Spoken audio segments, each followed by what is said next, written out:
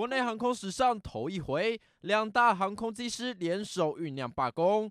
原本劳资双方僵持不下，不过现在似乎出现曙光。在聚众协商之后，工会同意目前让他先比较优先谈判的几个议题，先把它拟定出来。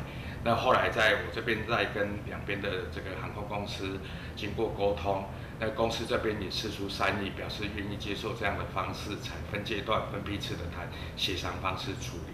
华航和长荣机师在七日投票之后，工会已经正式获得合法罢工权，但就怕罢工事件引发争端，劳动局等单位积极介入协调。现在双方正式拍板，在十日进行劳资协商。工会的很多诉求，其实跟资方所示出来的，其实都是恶意的曲解。那我们希望公司更好。其实我们真的很多很多的建议，其实是帮助公司的管理能够更符合实际的状况，而不是虚假的数字。工会持续对资方喊话，希望不要再被妖魔化。而这场即将登场的协调会，将针对议题拟定优先顺序，分次协调两家业者，也会分开协商。